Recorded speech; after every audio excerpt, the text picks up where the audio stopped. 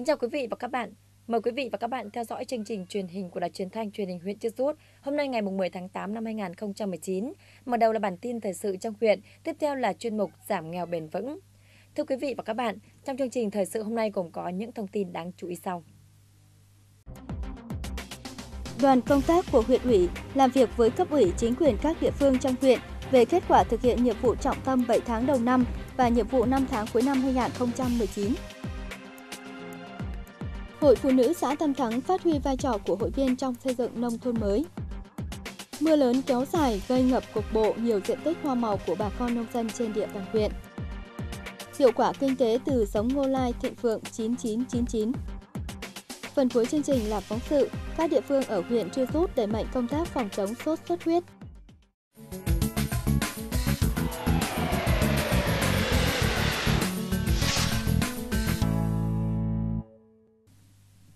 Sau đây là nội dung chương trình mời quý vị và các bạn cùng theo dõi.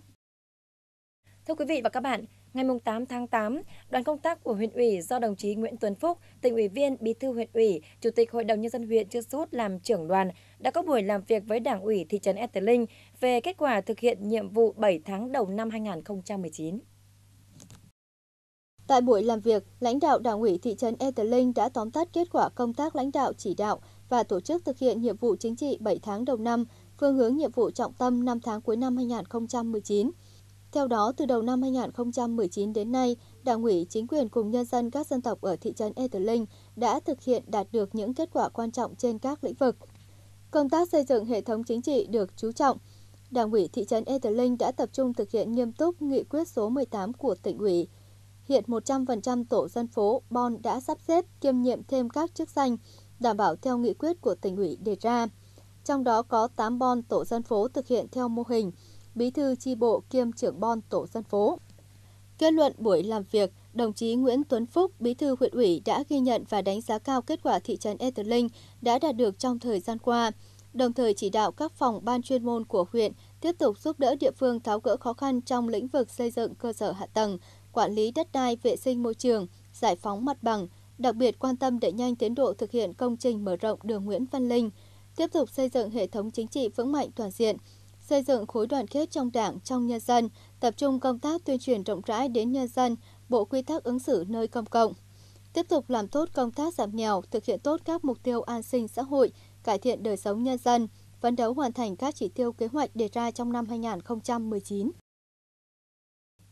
tập trung triển khai các giải pháp đảm bảo thực hiện các chỉ tiêu kinh tế văn hóa xã hội năm 2019 là yêu cầu của Bí thư huyện ủy Nguyễn Tuấn Phúc tại buổi làm việc với cấp ủy chính quyền xã Trúc Sơn vào chiều ngày 8 tháng 8 về tình hình thực hiện nhiệm vụ 7 tháng đầu năm và phương hướng nhiệm vụ 5 tháng cuối năm 2019.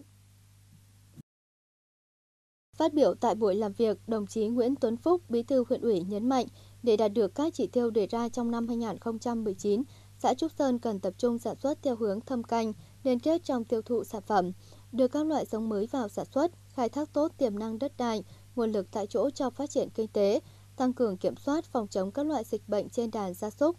đẩy mạnh phát triển các ngành nghề phi nông nghiệp, đồng thời chủ động bám nắm địa bàn, quản lý hộ tịch hộ khẩu theo đúng pháp luật, đảm bảo tình hình an ninh chính trị trên địa bàn xã. Phát biểu kết luận hội nghị, đồng chí Nguyễn Tuấn Phúc, Bí thư huyện ủy, đã ghi nhận và biểu dương những kết quả mà cán bộ và nhân dân xã Trúc Sơn đã đạt được trong thời gian qua. Đồng thời, mong muốn trong thời gian tới, cán bộ và nhân dân xã Trúc Sơn tập trung vào các nhiệm vụ chủ yếu, như đẩy mạnh công tác thu ngân sách địa phương, giảm tỷ lệ hộ nghèo trong toàn xã, hạn chế thấp nhất tình trạng tái nghèo, bảo đảm giữ vững ổn định chính trị, trật tự an toàn xã hội, tiếp tục nâng cao các tiêu chí nông thôn mới, thực hiện tốt nghị quyết số 18 về sắp xếp tổ chức bộ máy của hệ thống chính trị, tinh gọn, hoạt động hiệu lực, hiệu quả. Đồng thời, chuẩn bị tốt cho đại hội các cấp tiến tới đại hội 13 của Đảng. Đoàn công tác của huyện ủy do đồng chí Nguyễn Thị Thanh Hà, Phó Bí thư huyện ủy, Chủ tịch Ủy ban Nhân dân huyện làm trưởng đoàn đã có buổi làm việc với Đảng ủy xã Đắc Quyên về tình hình thực hiện công tác 7 tháng đầu năm và nhiệm vụ trọng tâm 5 tháng cuối năm 2019.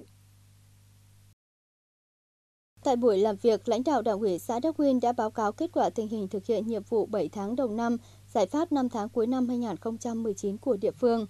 Theo đó, 7 tháng đầu năm 2019, Đảng ủy xã Đắc Quyên đã thực hiện nghiêm túc có hiệu quả các chỉ tiêu mà nghị quyết đã đề ra. Công tác xây dựng đảng và tổ chức trong hệ thống chính trị tiếp tục được nâng lên, hoạt động kiểm tra giám sát được thực hiện chặt chẽ hơn. Mặt trận các đoàn thể phát huy tốt vai trò chức năng của mình, an ninh chính trị và trật tự an toàn xã hội tiếp tục ổn định. Đảng ủy đã tập trung thực hiện có hiệu quả việc sắp xếp tinh gọn bộ máy chính trị ở địa phương theo nghị quyết số 18 của tỉnh ủy. Về xây dựng nông thôn mới, hiện xã đã đạt 12 tiêu chí, 7 tiêu chí còn lại sẽ phấn đấu hoàn thành trong những tháng còn lại của năm 2019. Phát biểu kết luận buổi làm việc, đồng chí Nguyễn Thị Thanh Hà đã ghi nhận đánh giá cao sự vào cuộc của cấp ủy chính quyền, các ban ngành đoàn thể và nhân dân xã Đắc Quyên trong thực hiện nhiệm vụ phát triển kinh tế xã hội trên địa bàn trong thời gian qua. Đồng thời cũng chỉ rõ và phân tích thêm một số tồn tại nguyên nhân của những hạn chế để thực hiện thắng lợi các mục tiêu phát triển trong thời gian tới, đặc biệt là phấn đấu về đích nông thôn mới vào cuối năm 2019. Chủ tịch Ủy ban Nhân dân huyện Nguyễn Thị Thanh Hà yêu cầu cấp ủy chính quyền và các đoàn thể xã Đắc Quyên cần tăng cường đoàn kết, phát huy dân chủ, nêu cao tinh thần trách nhiệm và sự gương mẫu của người đứng đầu, từ đó tạo sự đồng thuận trong nhân dân. Chủ động nắm bắt tình hình giải quyết kịp thời các vấn đề phát sinh ngay ở cơ sở, không để bị động bất ngờ. Nâng cao hiệu quả công tác dân vận, xây dựng chính quyền, mặt trận tổ quốc và các đoàn thể chính trị xã hội vững mạnh, tinh gọn, hoạt động hiệu quả chủ động rà soát quy hoạch cán bộ đảm bảo tiêu chuẩn theo quy định, phục vụ cho Đại hội Đảng Bộ xã nhiệm kỳ 2020-2025, huy động mọi nguồn lực xây dựng kế hoạch cụ thể tổ chức thực hiện khẩn trương để hoàn thành mục tiêu đạt 19 trên 19 tiêu chí quốc gia nông thôn mới. Các ngành chức năng của huyện chủ động phối hợp hỗ trợ xã giải quyết các khó khăn để hoàn thành kế hoạch đề ra.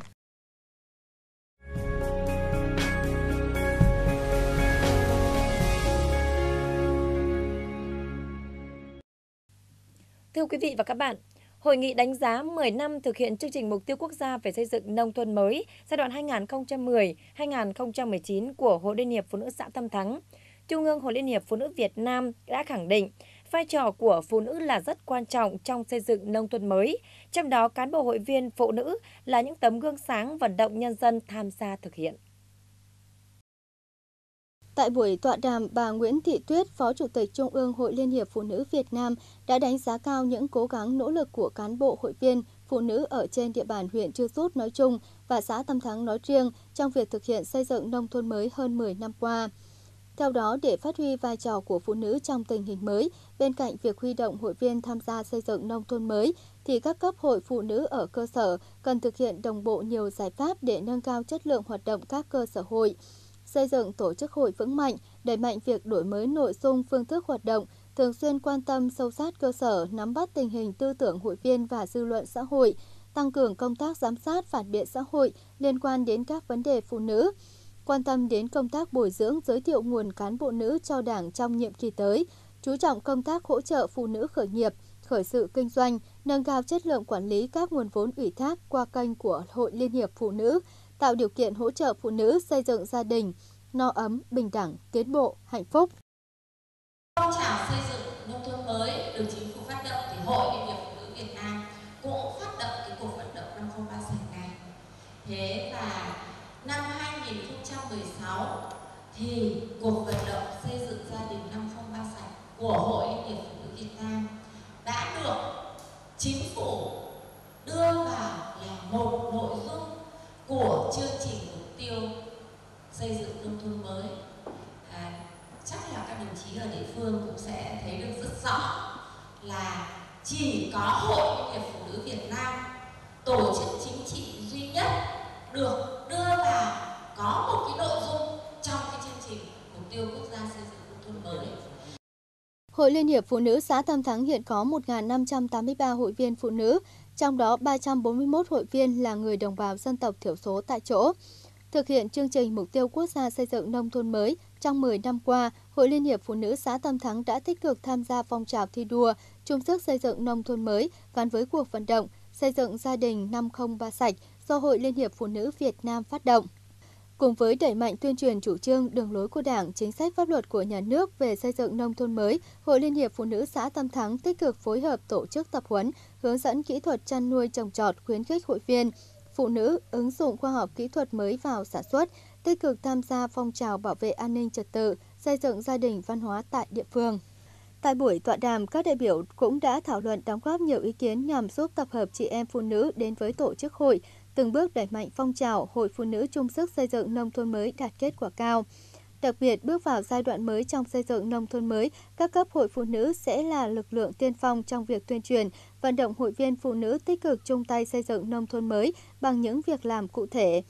Tại buổi tọa đàm, Trung ương Hội Liên hiệp Phụ nữ Việt Nam mong muốn sẽ được lắng nghe những ý kiến hội viên tại cơ sở để tiếp tục phát động phụ nữ cả nước chung sức chung lòng xây dựng nông thôn mới trong giai đoạn tiếp theo. Trên cái địa bàn của chúng ta, Hội Liên hiệp Phụ nữ xã dưới sự lãnh đạo của Hội Liên hiệp Phụ nữ tỉnh, huyện thì đã tham gia vào cái chương trình mục tiêu quốc gia xây dựng nông thôn mới như thế nào bằng cái việc triển khai thực hiện cuộc vận động xây dựng gia đình nông thôn mới. Và trong quá trình thực hiện đó thì có vấn đề gì khó khăn có vấn đề gì bất cập. Và từ đó thì các đồng chí có một cái đề xuất đề ra những cái giải pháp giúp chúng tôi là để trong cái giai đoạn tiếp theo thực hiện. Nếu như hội vẫn tiếp tục thực hiện cuộc vận động xây dựng gia đình năm không ba sạch để mà thực hiện chương trình mục tiêu quốc gia xây dựng nông thôn mới thì hội liên hiệp phụ nữ Việt Nam cần phải chỉ đạo như thế nào để cho phụ nữ ở các vùng miền có cái đóng góp phát huy được cái à, cái cái, cái, cái năng lực sáng tạo của chị em đóng góp vào chương trình xây dựng nông thôn mới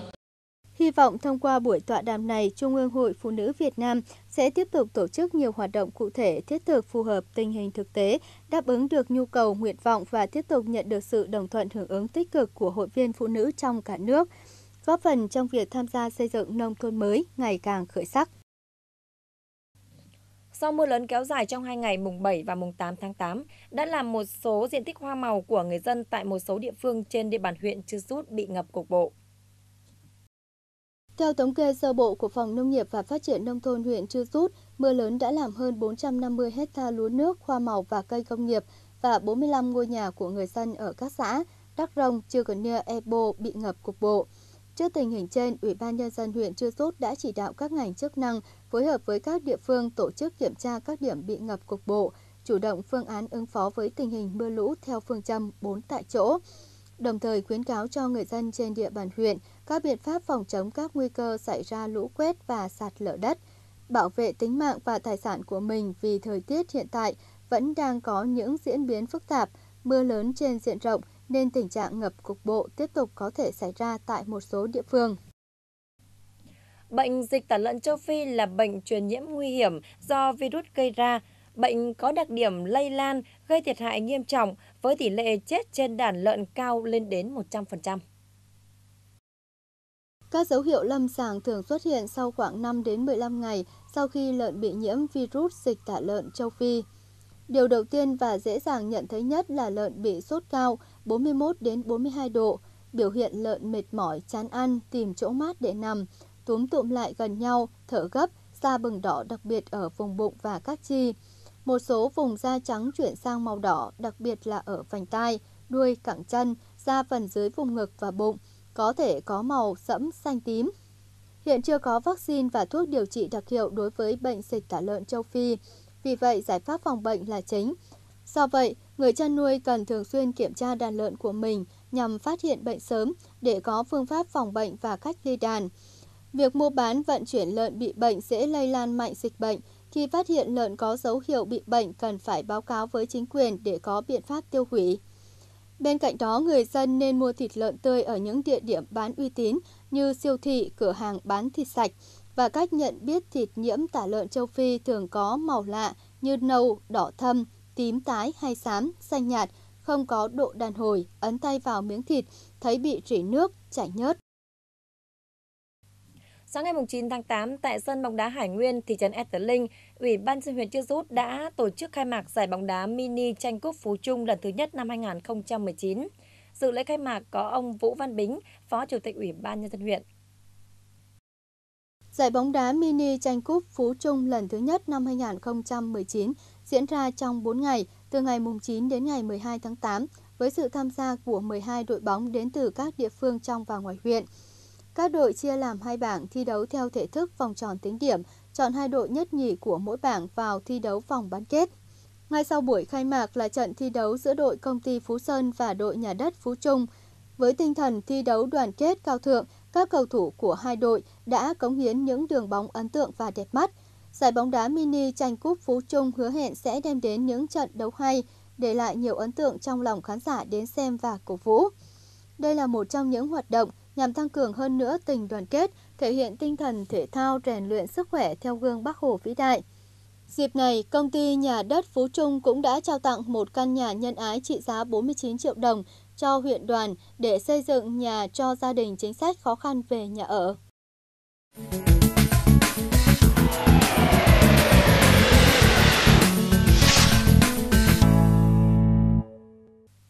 Thưa quý vị và các bạn, nhằm đưa những giống ngô lai có năng suất, chất lượng cao vào sản xuất, vụ hè thu năm 2019, Trung tâm Dịch vụ Kỹ thuật Nông nghiệp huyện Chư Sút đã triển khai trồng thí điểm nhiều giống ngô lai mới. Trong đó có giống ngô lai thịnh vượng 9999.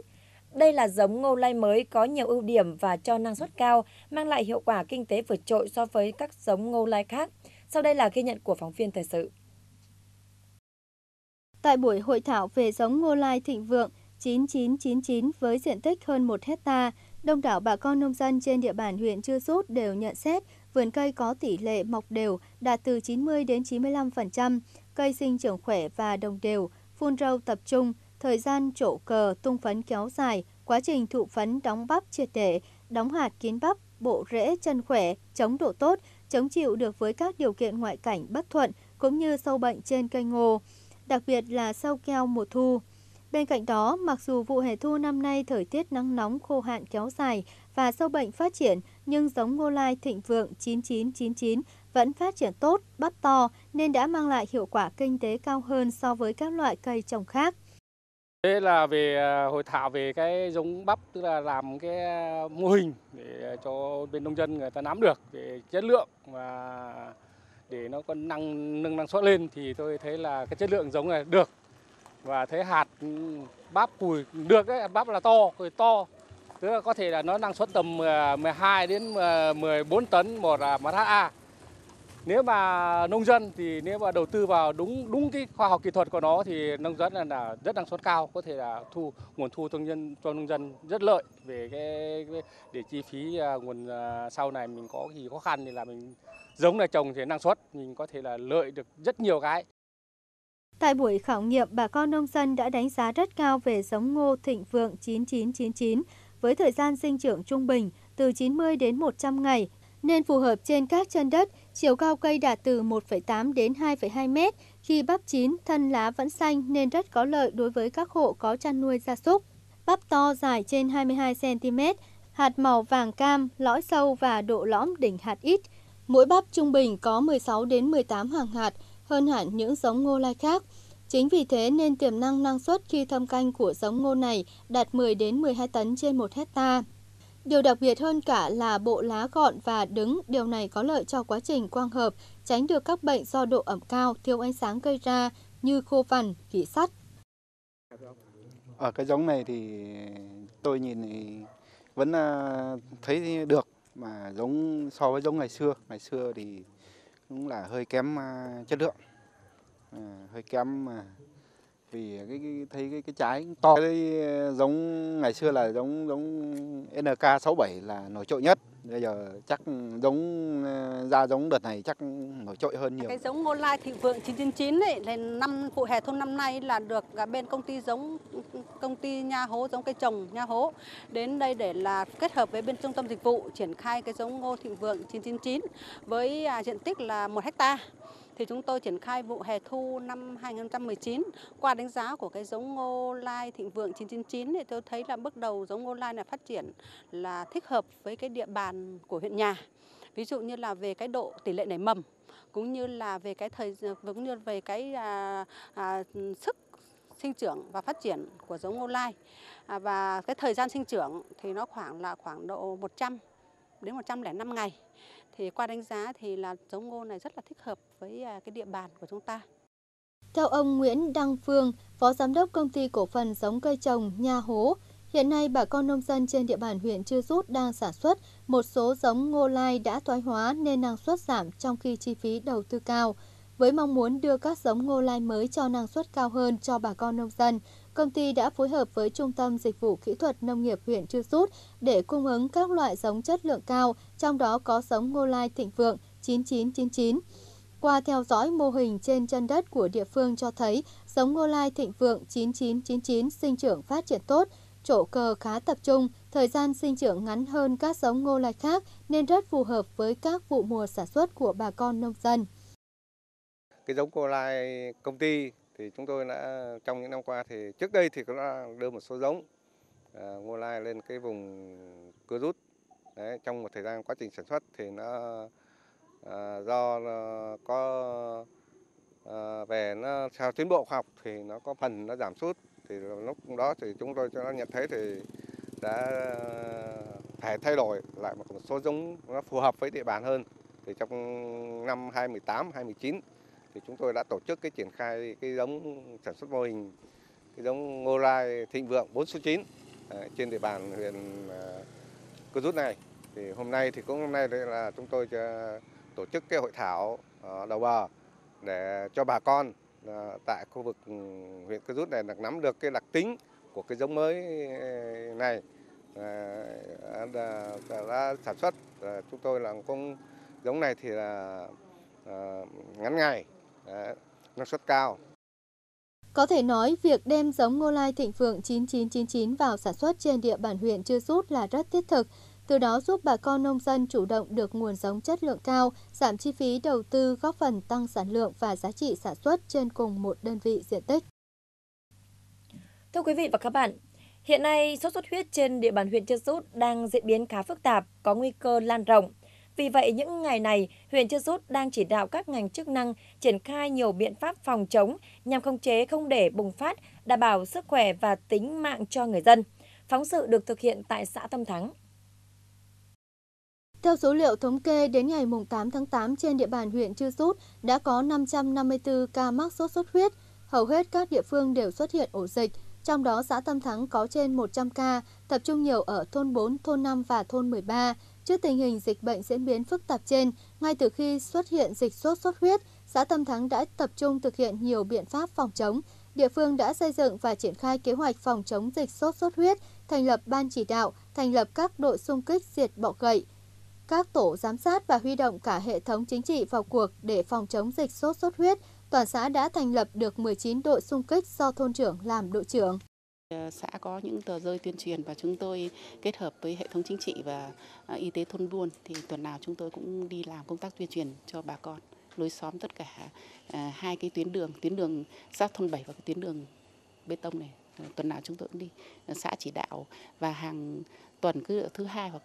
thứ bảy là xã đã điện xuống là nhớ ngày thứ ba là ngày toàn dân diệt bọ gậy là chúng tôi đi hết. Tuần nào cũng đi từ hồi có rồi với đặc thù là địa phương có địa bàn rộng, dân cư đông, lại có nhiều ao hồ. Trong các khu dân cư, nhiều hộ dân phát triển mô hình chăn nuôi gia súc, gia cầm nhỏ lẻ, nguồn nước thải sinh hoạt, nước thải chăn nuôi xả thải ra môi trường chưa được xử lý triệt để. Đây chính là môi trường thuận lợi để các loại mũi phát sinh gây bệnh sốt xuất huyết nếu như công tác vệ sinh môi trường không được đảm bảo. Vì vậy, công tác tuyên truyền nhằm nâng cao nhận thức của người dân trong công tác phòng chống dịch bệnh sốt xuất huyết đã được xã Tâm Thắng đẩy mạnh và thực hiện dưới nhiều hình thức. Ngoài việc tập huấn phòng chống dịch sốt xuất huyết tại cộng đồng cho các cán bộ y tế, cộng tác viên y tế thôn, buôn, thành viên các đội xung kích diệt bọ gậy và tổ giám sát phòng chống sốt xuất huyết, địa phương đã tổ chức tuyên truyền thường xuyên trên hệ thống phát thanh mỗi ngày hai lần sáng và tối Đồng thời, khuyến cáo đến cộng đồng những dấu hiệu nhận biết bệnh và nếu nghi ngờ mắc bệnh sốt xuất huyết thì đến ngay các cơ sở y tế để được khám và điều trị. Thì nói chung là cũng thời gian này là cũng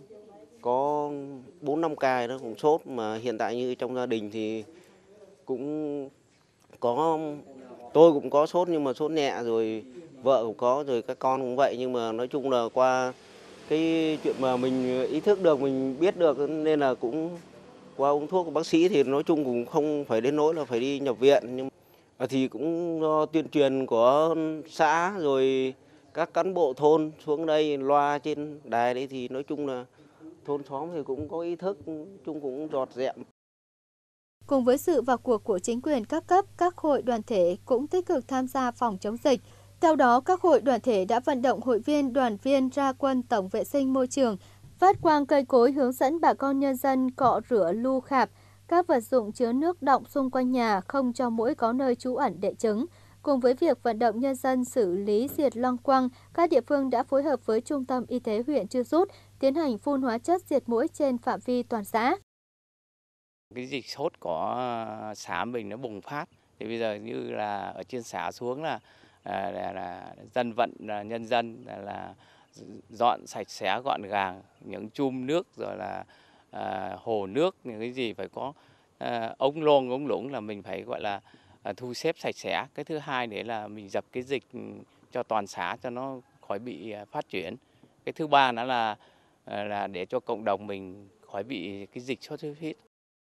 Hiện nay đang vào cao điểm của mùa mưa, bệnh sốt xuất huyết có diễn biến phức tạp. Vì vậy, cùng với những giải pháp của chính quyền, của ngành y tế địa phương, mỗi người dân cần nâng cao ý thức trách nhiệm, bảo vệ sức khỏe của bản thân, gia đình và cộng đồng, bằng cách tự trang bị cho mình những kiến thức cần thiết để phòng chống dịch bệnh.